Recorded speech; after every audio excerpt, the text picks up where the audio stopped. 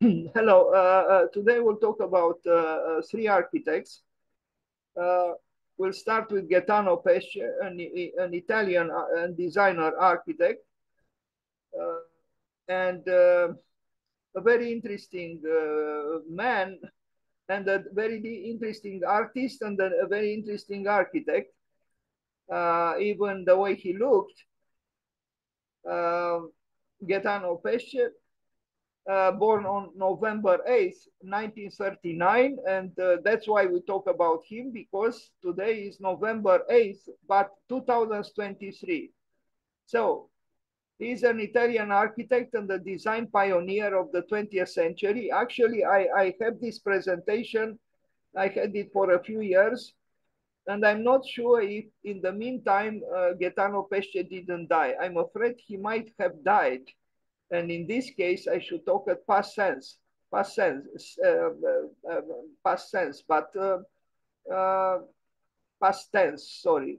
Uh, Mr. Pesce was born in La Spezia in 1939 and he grew up in Padua and Florence. During his 50-year career, Mr. Pesce, Pesce has worked as an architect, urban planner, and industrial designer.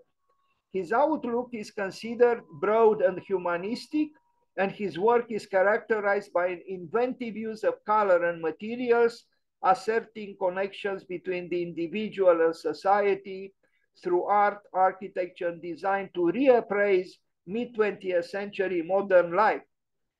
Uh, Mr. Pesce studied architecture at the University of Venice with such notable teachers as Carlos Scarpa and Ernesto Rogers. Between 1958 and 1963, Gaetano Pesce participated in Gruppo N, an early collective concerned with program, programmed art patterned uh, after the Bauhaus. Since the 1960s, Gaetano Pesce has been known to relate art to the design of interiors, products, and architecture. The New York Times critic Herbert Muschamp described Mr. Pesce as the architectural equivalent of a brainstorm. Not uh, not a little thing. During his career that spans four decades with commissions in architecture, urban planning, interior exhibition, and industrial design, Gaetano Pesce, the architect and designer, has conceived public and private projects in the United States, Europe, Latin America, and Asia. In all his work, he expresses his guiding principle that modernism is less a style than a method for interpreting the present and hint, hinting at the future in which individuality is preserved and celebrated.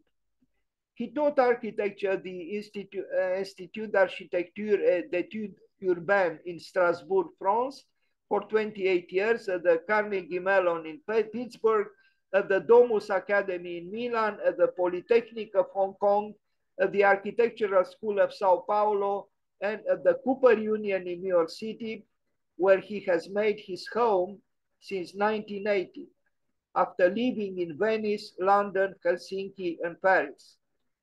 Drawings by Gaetano Pesce, a self-portrait, industrial skins, 1983, polychrome urethane.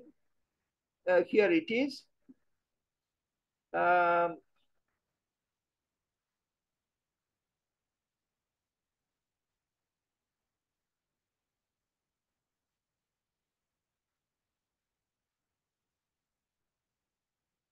So we remember the description of Herbert Muschamp, the equivalent of a brainstorm. Gaetano Pesce. Omaggio a tutte le Madonne, Madonne del mondo, 2016. I don't know if that man who holds the artworks like this is part of the artwork. Probably not.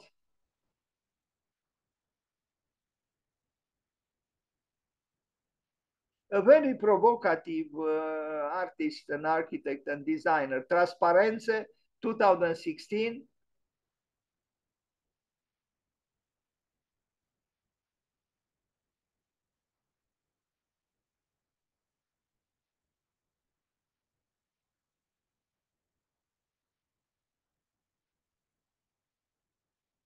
It looks like a, kind of a lady there, no, not a man. Anyway, uh, it's hard to tell actually. Donna con titolo, detail 2016, Gaetano Pesce. I'm not sure I pronounce uh, well. I, I, I, I postponed to ch double check the pronunciation of his family name. Senza titolo. Without title.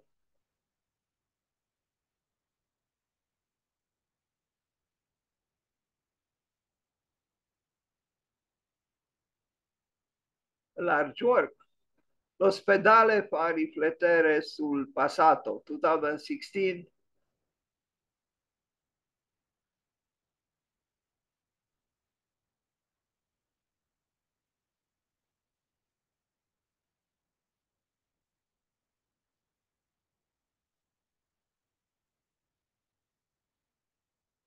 I'm not going to read this, although Italians, Italian does sound nice. Something about Leonardo, I guess. Leonardo diceva che in futuro la gente non avrebbe più mangiato carne. I don't know. Uh,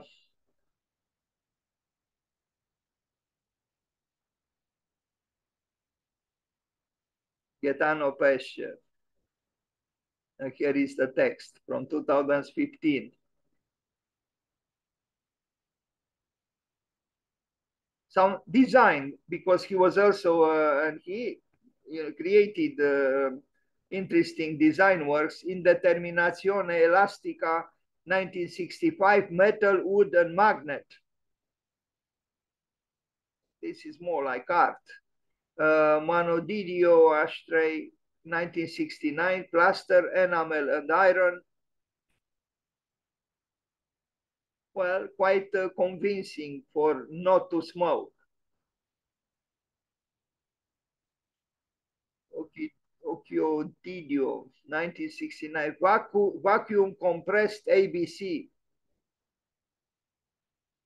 I, I do I do suspect, and I did suspect that there is a dark side in in in Gaetano Pesce, and we see now the dark side, uh, you know, represented by the by the blood, by the redness of blood. Fiore for Fiore in Bocca, 1969, flexible polyurethane foam. Here again, you know, dark connotations, red connotations. I don't know about that flower there, but uh, anyway, Moloch lamp, 1970, light alloy, alloy iron, ABS, ABS, ABS, and glass. Quite a large lamp.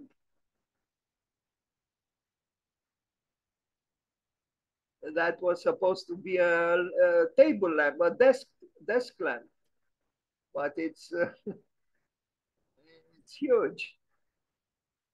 He was also very involved in theater, and we are going to see that too.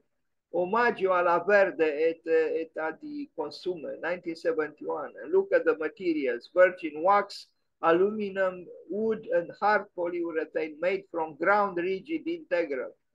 Uh, he also designed chairs. We are going to see some of uh, Gaetano Pesce's uh, unusual chairs, if we are to call this a chair. Carenza, wood and rigid polyurethane. Here it is. Uh, we talked about the library. Well, here there are some shelves designed by Gaetano Pesce with some books on them. Italy, the new domestic landscape, 1972. Uh, stage design. Uh, I don't know exactly what this was about, but uh, rather dramatic.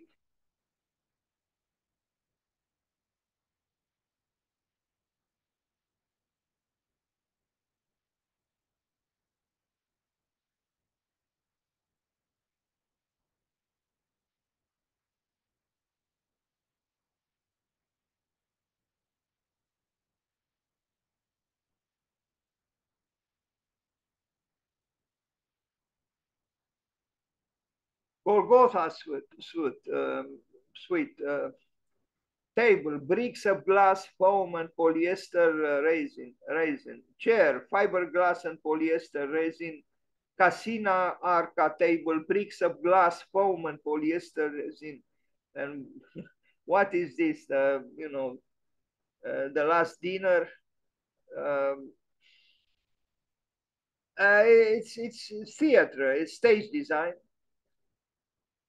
done by him. Chairs by him. Interesting this chair, but I wouldn't sit on it very uh, happily. Reg armchair 1972, Regs and natural rubber. An interesting idea for, uh, you know, sustainable uh, armchairs.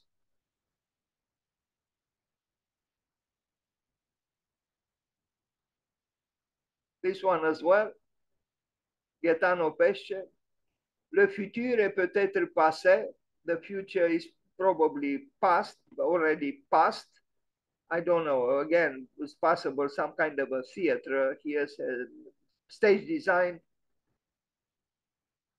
So he was very involved with all aspects of design. A sit-down series, a sofa, which probably costs a, a lot. Uh, if you intend to purchase a piece by Gaetano Pesce, it probably costs a lot because it's a one of a kind, an art, art artist, uh, you know, uh, a piece. Portrait chair, interesting idea. You don't need someone to sit on it because already there is a face there staring at you um, from it.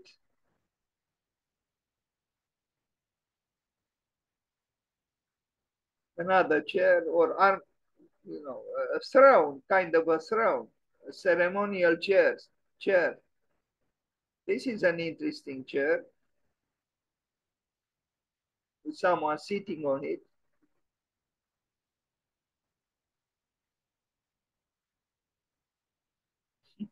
and hiding, I wouldn't be very relaxed if in, I was in a room with someone hiding there, like this person is hiding there. It's the same chair probably, that, but the sides were brought down, downwards, or this one. Gaetano Pesce. San Sebastiano cabinet. Too bad Sebastian is not here to see a, a chair because, you know, Saint Sebastian was uh, a martyr, usually depicted with uh, arrows entering his body.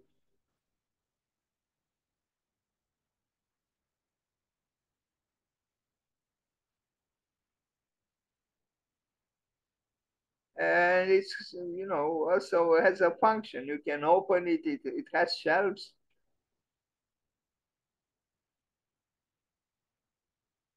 Seaweed chair 1991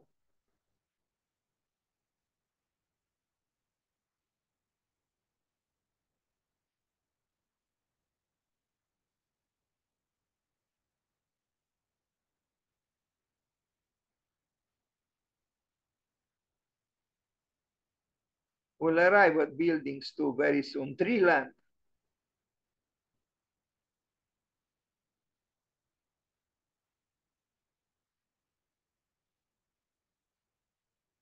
Indeed, it, it is a tree land.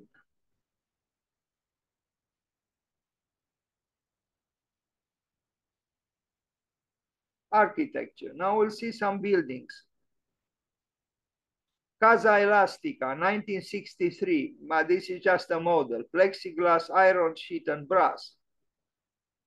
An early work, uh, still, you know, uh, not so outrageous as, as some of the later works. Casa Elastica, I don't know why he called it so. Spazio quadridimensionale, another here you still see the grid, but uh, he gets rid of it later.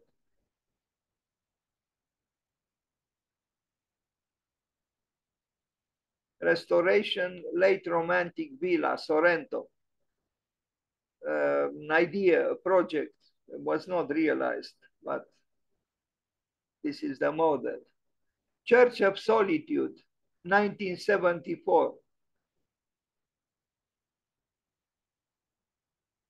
In a way, a, a broken, a broken church.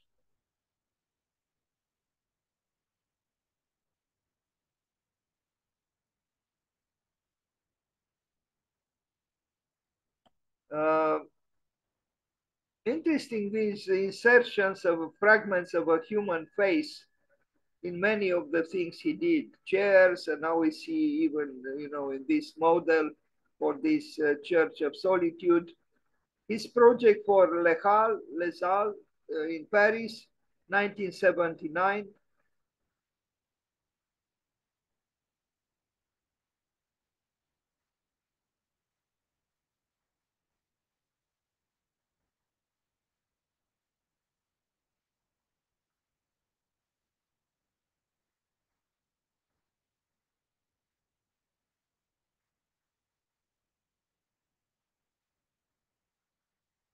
Chicago Tribune competition 1980. This is an interesting idea for the, the tower. You know, was the famous Chicago Tribune competition at the beginning of the 1920s, I think 1921. And he, uh, then uh, in the 1980s, another competition was uh, launched with uh, you know, new towers, just an ideas competition. And this is what he submitted. Uh, and, uh, you know, we see here, you know, the symbols of, uh, of the media, of the consumers of the media, you know, the ear. So you, you hear the news now. It's, uh, well, you read them on the newspaper, but it's about, uh, you know, intercepting um, know, news. And then this uh, face here maybe could symbolize the, you know, the effects of the news on, on those who receive them. And here, I don't know, these two hands, it's, it's a narrative, it's a narrative facade, a narr narrative architecture, which has potential in my opinion. I mean, because this tower was meant to be designed for Chicago Tribune, a newspaper, so, you know, you could uh, think of various ways to uh, express the narrative behind what a, a newspaper is. Vertical Loft, 1982. Well, you know, Bjarke Ingels built a, a tower recently uh, in, uh, in Manhattan, in New York City, where you know, well, with different materials, but he has this uh, spiraling uh, stair uh, showing uh, on the on the facades of the of the tower. Harvard Shelter, 1985.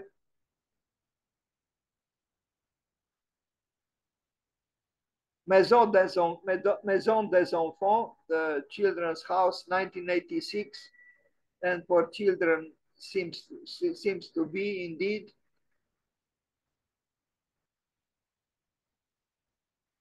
It's a nice model project for a bank 1988 now this is interesting. You know imagine a bank a tower a bank looking like this. Would i leave my money in such a bank well, considering that, that I don't have any money, yes, I would. You know, you can put five dollars into such a bank too. Uh,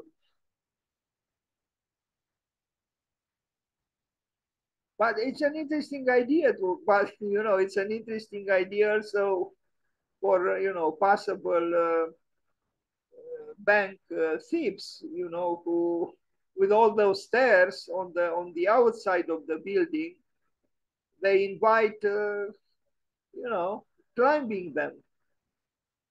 Another, I guess, I don't know, for the same function, another tower but was not built. The Sao Paulo Tower, 1988, Gaetano Pesce. This one also interesting, kind of interesting architecturally. Was not built.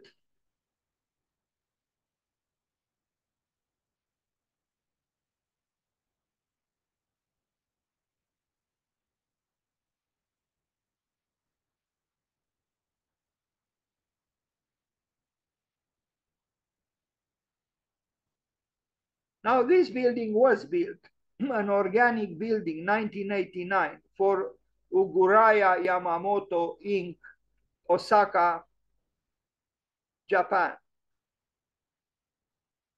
Red, a red building.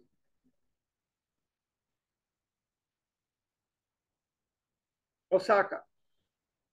With all those uh, plants uh, you see in in those uh, you know red uh, bases or vases or containers, and then the the plants, the flowers, and this was done before uh, the concern with uh, green buildings or green facades and so on.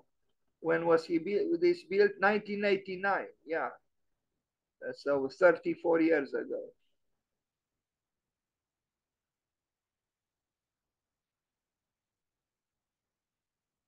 Gaetano Pesce. Osaka, Japan. Uh, I will stop here now because uh, maybe we can talk a little bit.